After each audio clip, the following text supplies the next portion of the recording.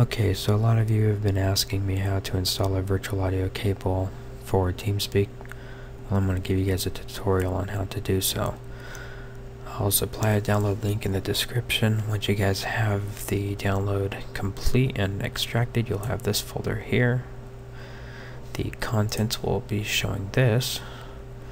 What we're going to do is we're going to open up the installation. If you have a 32-bit, use the normal setup. I've got a 64, so I'm going to use this one here run it. Yes, you want to continue and accept to the terms of service. Install.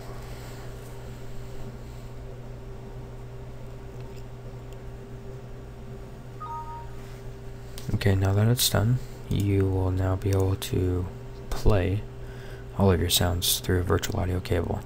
If you get an error saying that you cannot install it because of your drivers not being digitally signed, you'll need to go back to this folder here and follow these instructions that I give you on installing the system. It's quite simple.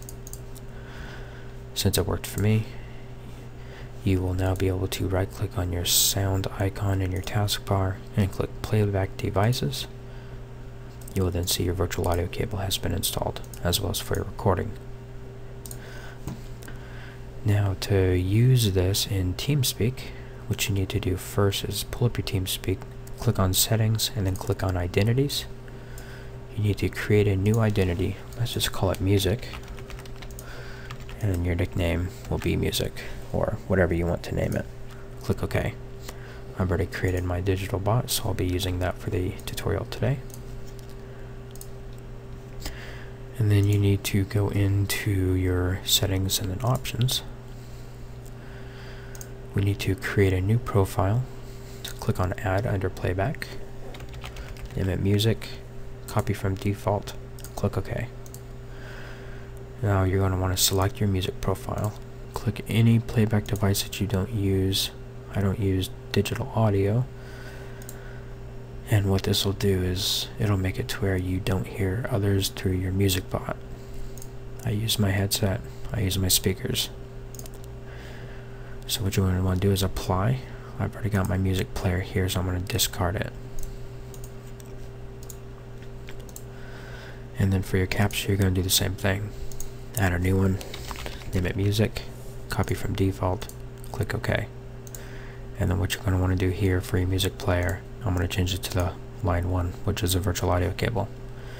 Click on advanced options if you don't already have it opened.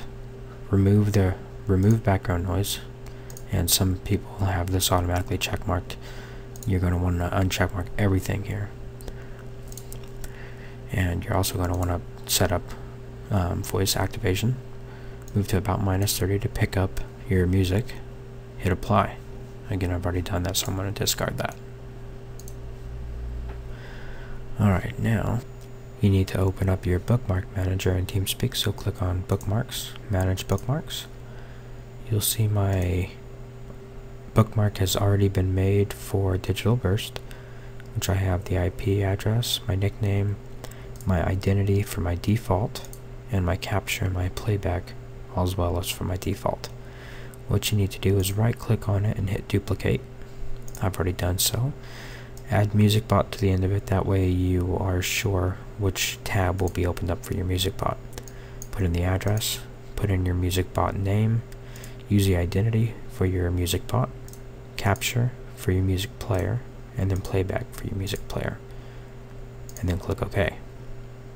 Now you are completely set up for your music bot. All you will need to do then is open up your bookmarks. Right click on the bookmark you have for the music bot and open that in a new tab. You will then be able to have two different clients in the same server. That way you'll be able to hear what music you're streaming. I need to open up Winamp. Once you have Winamp open, you're going to want to right click and go into your options and preferences. You're going to want to click on your output and then your direct sound output, double click on it. You'll see that it's currently set up for my primary sound driver, which is my speakers. I'm going to change that to my line 1 virtual audio cable and then click OK and close. Now, when I'm connected in TeamSpeak under my music bot, and my voice activation is currently active, anytime that I play through my Winamp through line 1 virtual audio cable, it will play through TeamSpeak. Now that you have that set up, and you will be able to play music through your TeamSpeak, if you want to back out of your music bot and just listen to music normally, again right click, go into options, preferences, output, direct sound output, click on the option here and then change back to primary sound driver. Okay, and then close. That will bring it back to your speakers or your headset or whatever you have default. Alright, that's how you want to play music through your Winamp, through TeamSpeak. Now you can do the same thing with playing YouTube videos. What you want to do is right click on your sound icon in your taskbar, click on playback devices, what you're going to want to do then is change your default. I'm using my headset. I'm going to change it to my virtual audio cable. I'm going to select as default. And my recording, I'm going to select that as my default as well. Now what that'll do is, since my music bot is set up to play virtual audio cable, what it'll do, it'll stream any music that goes into your computer. Now this will also do system sounds, chatting sounds, or like I said, a YouTube video. Um, clearly, only the audio will be streaming. Now, if you want to change back, just simply change your default settings back.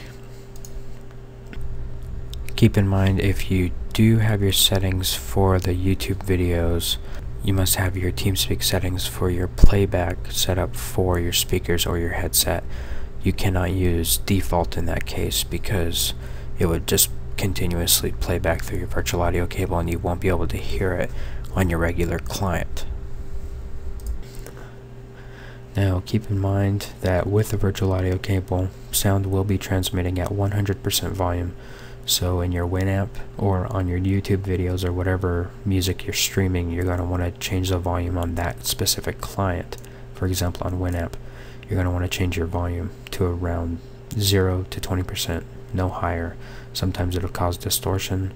Sometimes it plays clearly, but most of the time it causes distortion and it's just bad quality. Well, that's pretty much the setup for your virtual audio cable. If you have any other questions, just add comments below and I'll answer them as quickly as possible. Thanks for watching.